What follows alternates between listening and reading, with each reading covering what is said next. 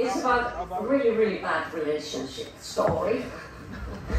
um, and this story, the woman is an evil queen and kind of bosses the guy, and the guy wants to do something, some changes. But this story really, really ends bad. But I really want you to concentrate on this because our drummer has really fast feet.